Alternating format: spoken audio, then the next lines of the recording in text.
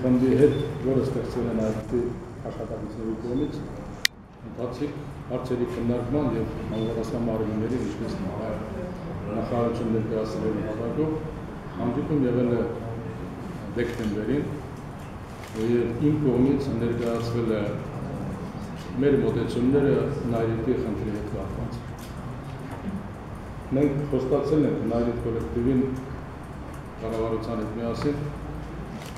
վճարել հունվարին եւս մեկ ամսվա աշխատավարձ։ Ինչպես գիտեք, կոլեկտիվի կողմից եւ խորհրդի կողմից հիմնականում կառավարման խորհրդի կողմից որոշում է կայացվել եւ գործընթաց արդեն սկսվել է կրճատումների հետ կապված եւ դեկտեմբերի 6-ի դրությամբ այդ գործառույթը կիրականացվի եւ նոր պայմանագրեր կստորագրվեն նոր աշխատակիցների թվականակը ճշտվել է 478 աշխատակից կլինեն եւ նոր պայմանագրեր ստորագրվի խորհրդի որոշմամբ, նշել 478 աշխատակիցների հետ հետագայում նայրիտ ընկերության անվտանգության ապահովման եւ պահպանության նպատակով։ Դիմել ենք համաշխարհային բանկին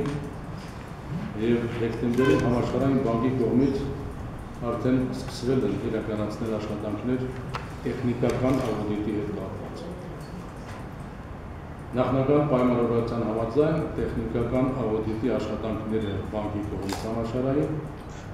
կավարտվեն փետրվարի մինչև վերջ։ Մոտ օրերս մասնագետները համաշխարհային բանկի կայցել են Երևան եւ այդ աշխատանքների մեն մասնակից կլինեն նաեւ նայրիտ ընկերության աշխատակիցները, մասնագետները, որպեսզի ուսումնասիրությունները լինեն ընդհանուր, ամբողջովին եւ լիարժեք։ Համաշխարհային բանկի ուսումնասիրություններից եւ առաջարկություններից հետո նոր Հայաստանի Հանրապետության կառավարությունը քննարկել համապատասխան առաջարկություն ներկայացնել։ Դրական կարծիքի դեպքում հավանաբար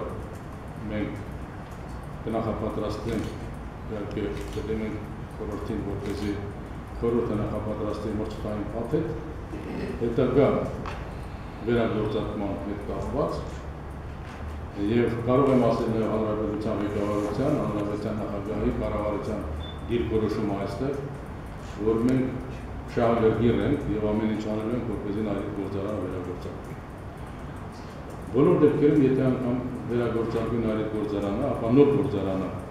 բոլոր տեխնոլոգիական ուսումնասիրություններից հետո այն կարծիքն է ձևավորվում է, որ նոր գործարանում վերագործարկման դեպքում